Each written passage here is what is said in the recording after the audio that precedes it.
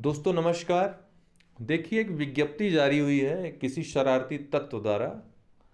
ठीक है, मानसिक रूप से विकलांग कोई है, वो दूसरों को परेशान करने में बड़ा मज़ा आ रहा है उसको। आजकल जो है, विज्ञप्ति जारी कर रहा है खुद से, एडिट करके उल्टा पुल्टा जो भी मन कर रहा है। आप बिल्कुल इस पर ध्यान मत दीजिए। यदि कोई चीज़ आपको ऐसी मिलती है तो आप तुरंत पीएससी की वेबसाइट पे जाइए। वहाँ पर सबसे पहले विज्ञप्ति अगर आएगी, कोई आएगी।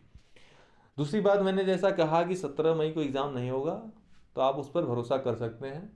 आगे की तैयारी, बिना डिस्टर्ब हुए आप जारी रखिए, मेहनत करिए, ठीक है? इन सब चीज़ से, इन सब चीज़ों से कुछ भी नहीं हासिल होने वाला है।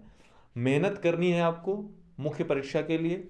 रिदम आपका ख़राब हो जाएगा यदि आप बिल्कुल भी समय नष्ट ऐसे ही करते रहेंगे, ठीक है?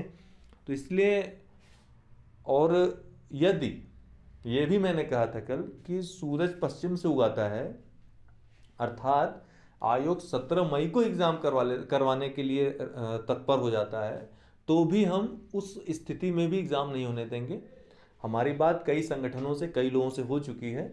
हम हर चीज़ के लिए तैयार हैं, सत्रह मई को एग्ज़ाम नहीं होगा तो नहीं होगा।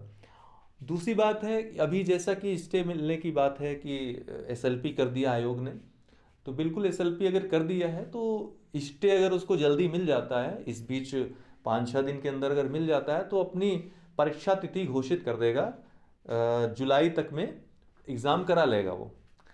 लेकिन यदि उसको स्टे नहीं मिल पाता है, क्योंकि स्टे मिलना भी मुश्किल है, स्टे अगर नहीं मिल पाता है उसको तो एग्ज़ाम थोड़ा सा आगे बढ़ जाएगा और आगे विलम्ब हो जाएगा एग्ज़ाम होने में, ठीक है? तो सिर्फ़ यही दो चीज़ें होंगी। सत्रह मई को एग्ज़ाम नहीं होगा। और जैसा कि मैंने कहा, अगर होता है तो हम लोग हैं। हम लोग मिलकर एग्ज़ाम नहीं होने देंगे। ठीक है? विश्वास रखिए इस बात पे। और सत्रह मई को एग्ज़ाम नहीं होगा, इसकी भी बहुत जल्दी आपको जानकारी प्राप्त हो जाएगी। ठीक है?